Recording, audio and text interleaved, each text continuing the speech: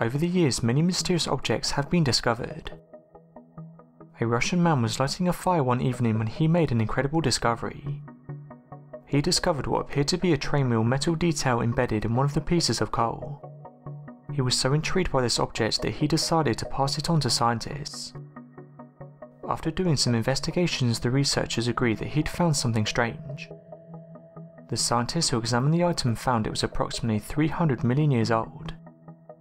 The scientists even went on to say they were certain it was artificially constructed by an intelligent life form, many millions of years before the dawn of humanity.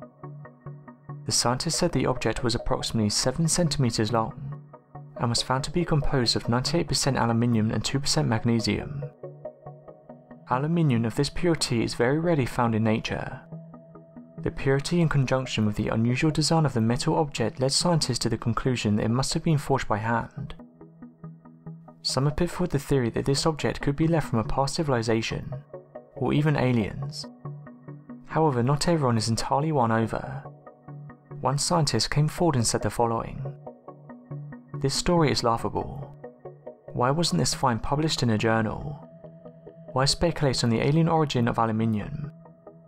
I don't think it's part of a gear.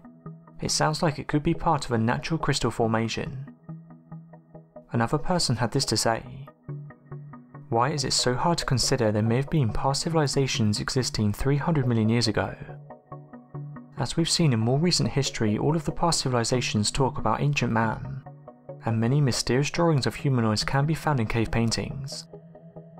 Everything in the universe is made up of dust particles, and most things that may have existed 300 million years ago have long since returned back to their most basic form.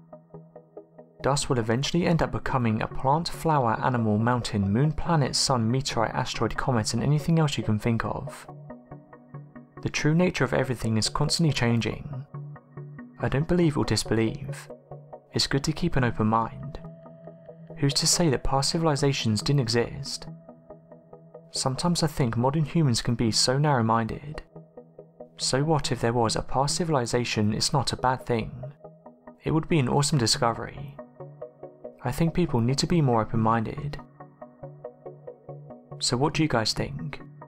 Did ancient civilizations once live on our planet hundreds of millions of years ago? Let me know your thoughts in the comments.